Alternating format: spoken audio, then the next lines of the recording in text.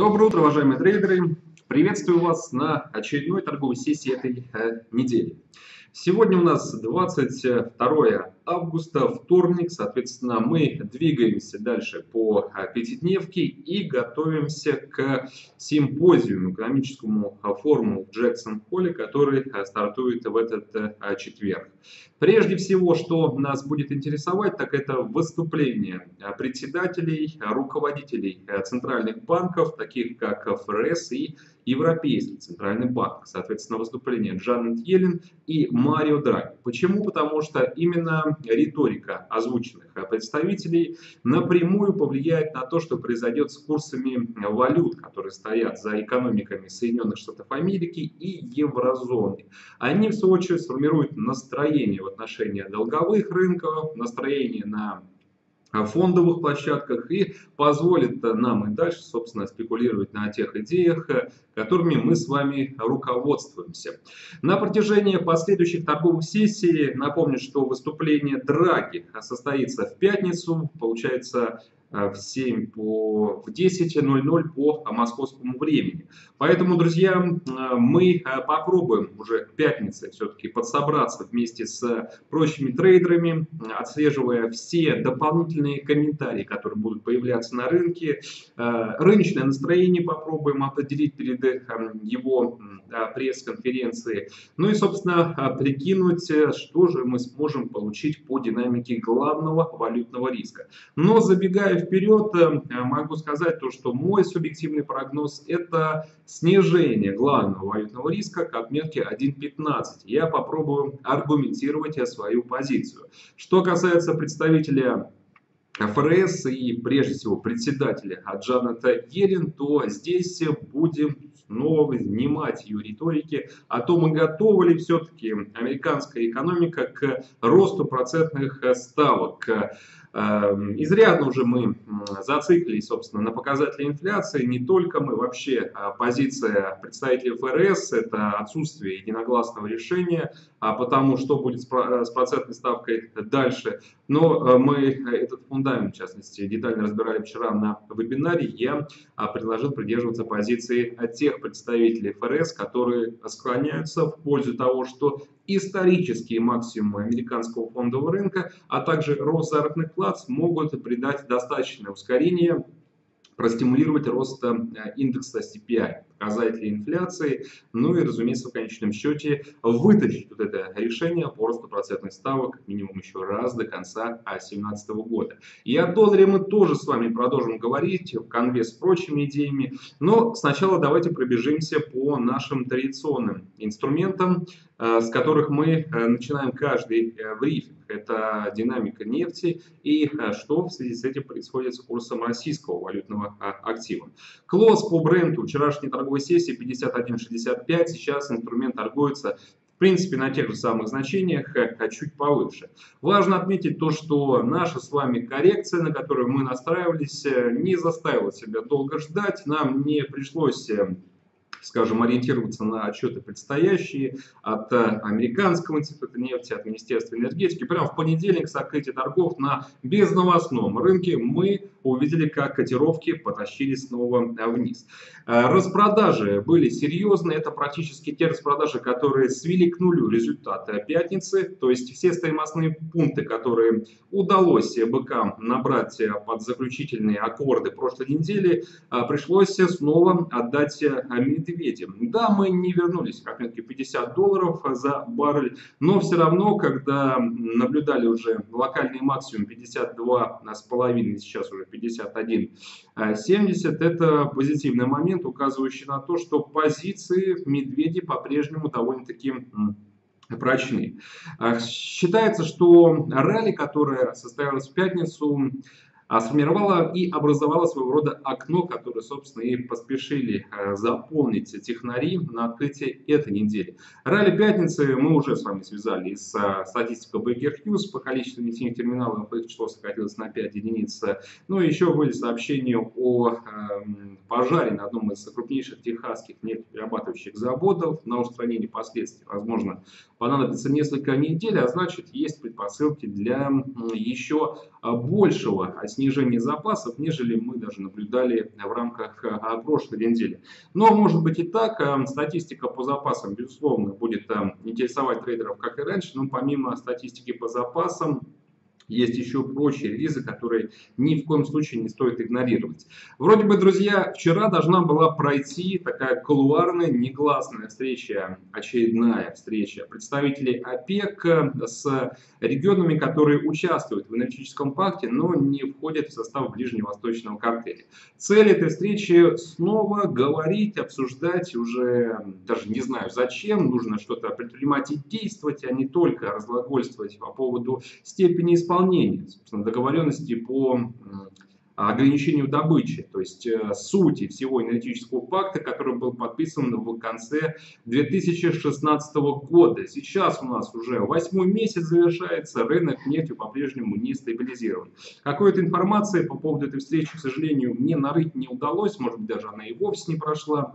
Э, я просто хочу напомнить то, что встреча уже была даже в начале этого месяца э, те же самые цели, но самое главное то, что никаким итогом, результатом эта встреча не привела. Хотя нет, один результат все-таки был. Это еще более а, усилившийся скепсис трейдеров вообще относительно эффективности того предприятия, на которое решили а, пойти представители ближневосточного картеля совместно с а, прочими крупными производителями углеводородов, собственно, под закат 2016 года. Сейчас мы можем сослаться уже на последний доклад Международного энергетического агентства, который э, указал э, рынку абсолютно, на мой взгляд, не двузначно, не двусмысленно, но такую неприятную э, правду для покупателей. Она заключается в том, что степень исполнения этих обязательств она снижается. Квоты, они есть, они обозначены, они не меняются, но мало кто придерживается в полном объеме. И это единицы только из-за всех участников энергетического пакта. А в целом можно сказать то, что уровень исполнения обязательств сейчас находится на минимальной отметке за все вот эти 8 месяцев 2017 года. А минимальный уровень исполнения обязательств это еще, во-первых, Э, один признак того, что сделка не работает, и, наверное, уже предвосхищающий э, фундаментальный такой базис, указывающий на то, что на большее никто уже и не пойдет. Поскольку степень исполнения обязательств находится примерно в районе 75%, мы можем продолжать говорить о крайней неэффективности этой сделки, даже уже не ссылаясь на то, что есть регионы, такие как Ливия, Нигерия, Соединенные Штаты Америки, которые за счет роста активности компенсируют вообще все вот эти усилия. В центре внимания трейдеров по-прежнему остаются данные по запасам нефти. Почему? Потому что каждый из отчетов, которые публикуются Министерством энергетики США, это сигнал потенциального сокращения глобального производства, предложение, присутствующее на а, мировом рынке черного золота. А, мы разбирали, опять же, в контексте такой логики этот релиз еще на прошлой неделе. Я думаю, она всем понятна и очевидна. Снижение запасов – это а, надежда на то, что нефть все-таки будет расти, поскольку предложение снижается. И напротив, если запас увеличивается, подтверждение низкого спроса и сверхпроизводства, собственно, которое присутствует. Тоже в первом случае это поддержка для котировок нефти, во втором это, собственно, снижение. На прошлой неделе у нас а, были данные, указывающие на то, что запасы Э, снизились э, коммерческие запасы на самый существенный уровень с начала 2017 года, но куда более важными для рынка выступили данные уже по объему добычи. Производство нефти в Штатах выросло на 79 тысяч, поэтому я считаю, что если и в эту среду статистика будет похожей, участники рынка смогут снова навалиться на котировки нефти и повторно э, предпринять попытку протестировать отметки в 50 долларов за баррель. Все пока к этому идет. Российская валюта 59.08. Хорошо то, что нефть просела.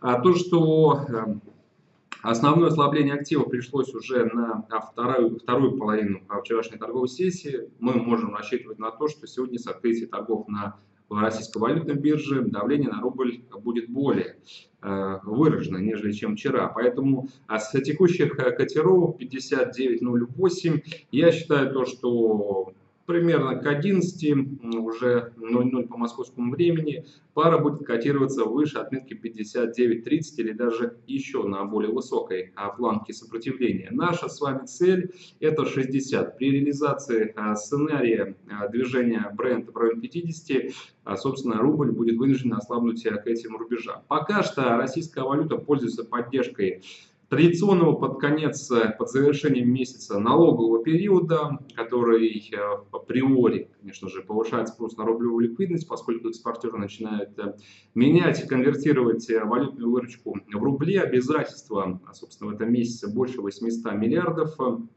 рублей. Налоговый период – это локальный фактор поддержки, он очень быстро сойдет с рынка, собственно, как это происходит в конце каждого месяца. И рынок оказывается, ну, российская валюта оказывается наедине с тем, что происходит на а, в секторе уже энергетики и а, в том, что происходит с брендом. Здесь мы уже с вами определились, поэтому снова актуализируем наши прежние цели. Это ждем рубль выше 60. Ближайшие ценовые ориентиры верхняя, собственно, планка а коридора 62-63. И есть все основания, чтобы добраться до этого уровня. Доллар японская иена, волатильность э, высокая, еще более интересные движения нас ждут впереди по мере, опять же, роста рыночного интереса к встрече а, и выступлению Джанет Йеллен а, в Джексон-Холле. Я хочу начать анализ пары доллар-японской иены вот с довольно интересной сделкой, которую предложили Сити. Если, может быть, моя позиция, тот анализ, который провожу я, является лишь для вас дополнением, хотя это, наверное, правильно. Считаю то, что мою субъективную позицию время от времени стоит размывать еще и прогнозами инвестиционных банков. В данном случае Сити рекомендует э, а, покупать пару долларов японской иены с отметки 109.30. Мы сегодня уже видели этот уровень, в принципе, уже должны, а, по идее, в соответствии с данной рекомендацией, находиться в длинных позициях. Take Profit можно поставить на отметке 111.50, стоп-лосс 107.85.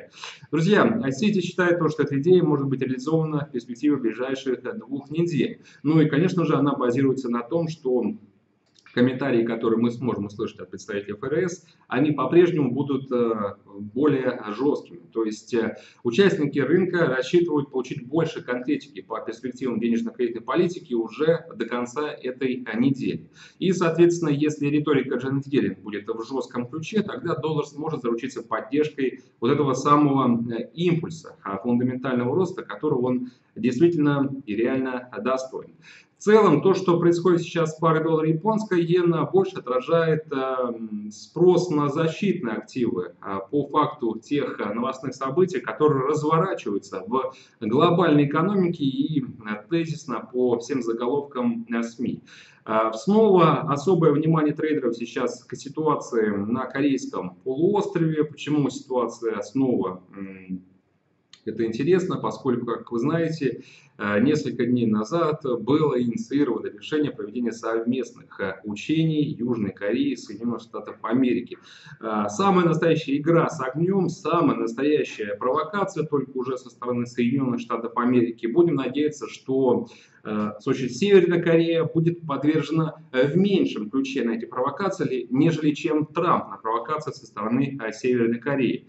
Не хотелось бы снова по прошествии всего лишь нескольких торговых дней, опять же, в омут уходить во все эти геополитические риски, форс-мажоры, эскалацию напряженности говорить о том, что ну, нельзя сейчас нигде заработать, кроме как э, защитных активов, к которым относится японская валюта. Хочется уже говорить про экономику, про статистику, и хочется уже, собственно, обсуждать перспективы денежно-кредитных политик без вот этих э, форс-мажоров, которые появляются на рынке. Надеюсь, то, что перспектива обострения военного, военной напряженности, она так и останется лишь в порядке обсуждения, в отношениях Северной Кореи и США. И мы все-таки сможем больше сфокусироваться на симпозиуме э, в Джексон-Холле и уже послушать то, что будет озвучено и Джанет Йеллин, и, собственно, Марио Драги.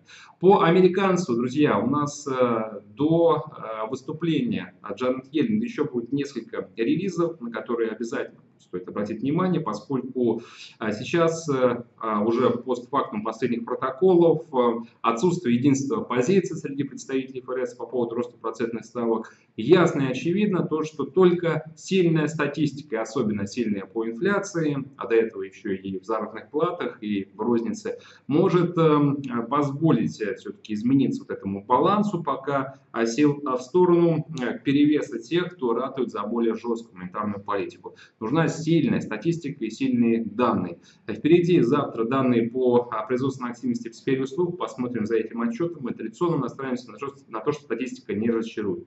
Доллар японская иена. Сейчас э, котировки 109.26, отошли мы от минимума вчерашнего дня, 108.62 в принципе, рост э, больше 60 э, пунктов, э, неплохое восстановление, но все равно нужно больше сейчас. Нужно, чтобы доллар японской иен оказался выше отметки 110 йен против доллара. Только после закрепления выше этой планки мы сможем выдохнуть и уже не говорить о рисках того, что пара окажется ниже отметки 108.50.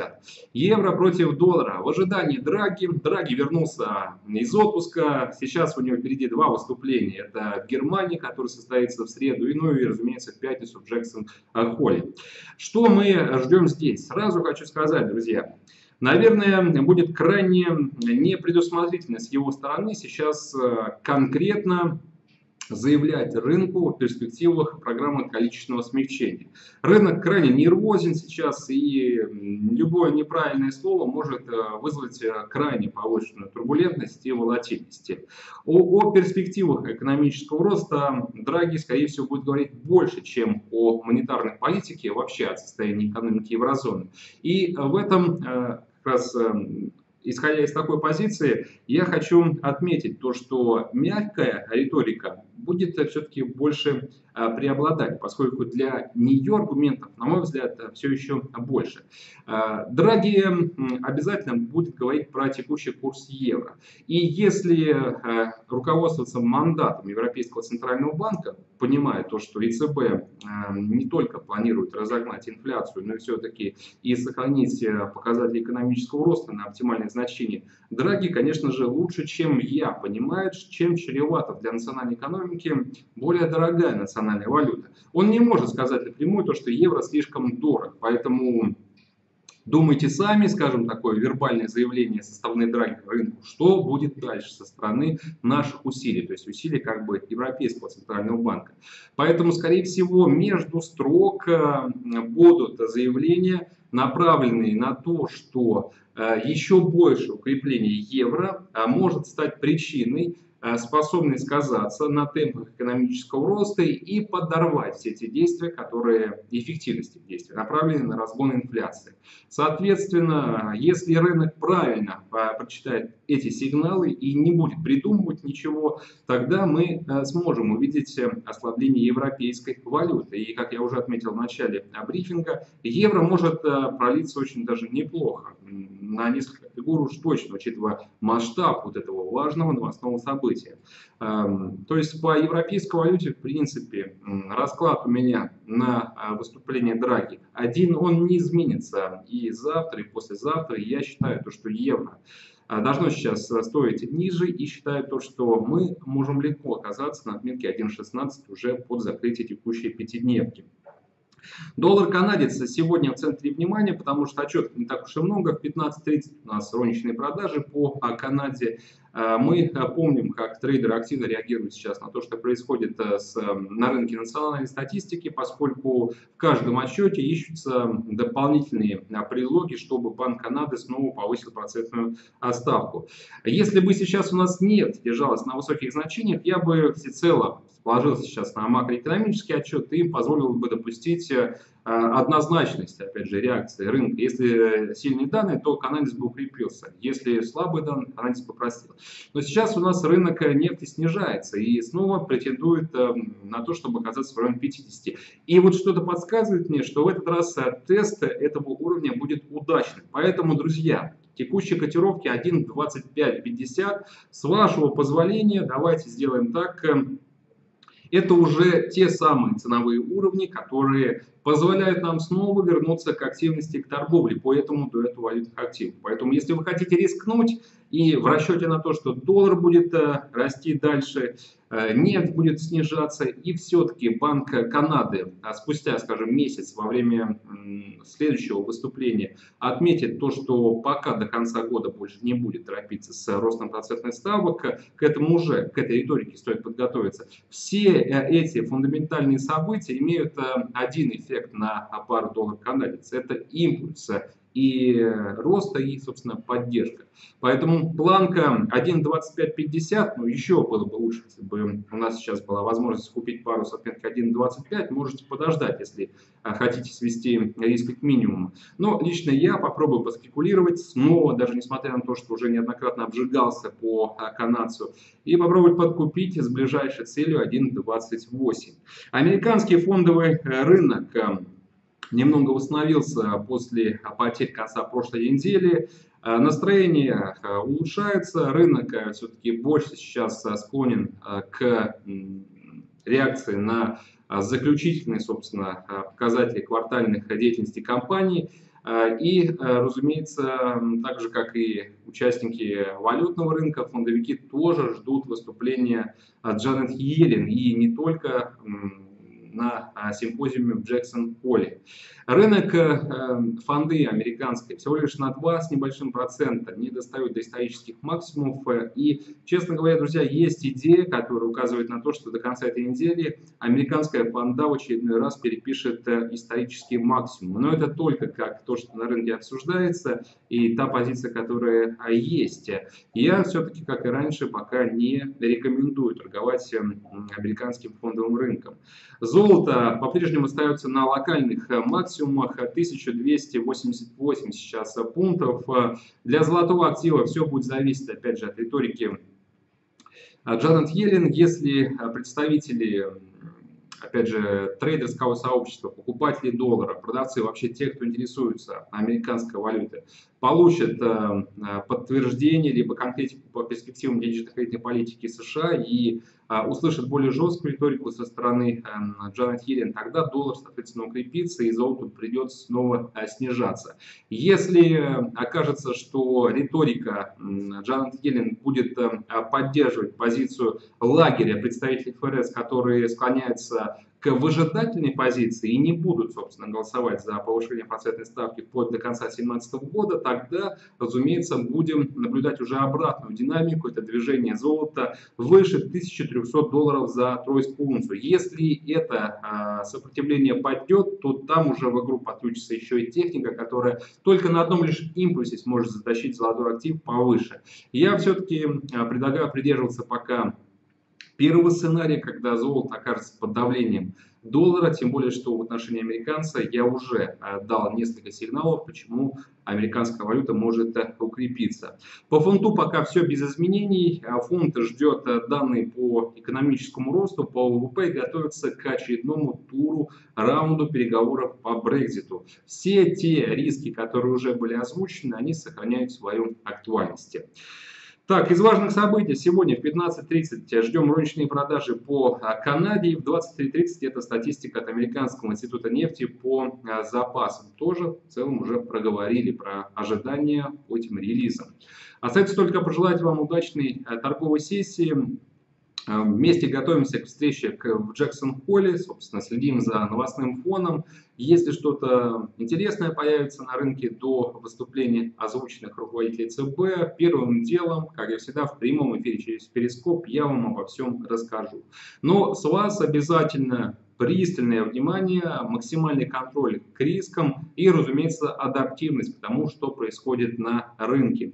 А, одна голова хорошо, несколько еще лучше, поэтому давайте совместными усилиями через обсуждение, опять же через комментарии, через дискуссии на форуме Markets и на канале на YouTube будем расширять наше трейдерское сообщество и э, все-таки совместными усилиями выводить э, э, это сообщество на такие медианные прогнозы, которые и станут золотой серединой по любому инструменту, попадающему в поле зрения и нашего фундаментального анализа. Совместными усилиями, друзья, уверен, то, что инвестиционные решения будут более интересные, более перспективные, поэтому не стесняйтесь, подключайтесь к обсуждению и к дискуссии. На этом, собственно, все. Всего доброго. До свидания.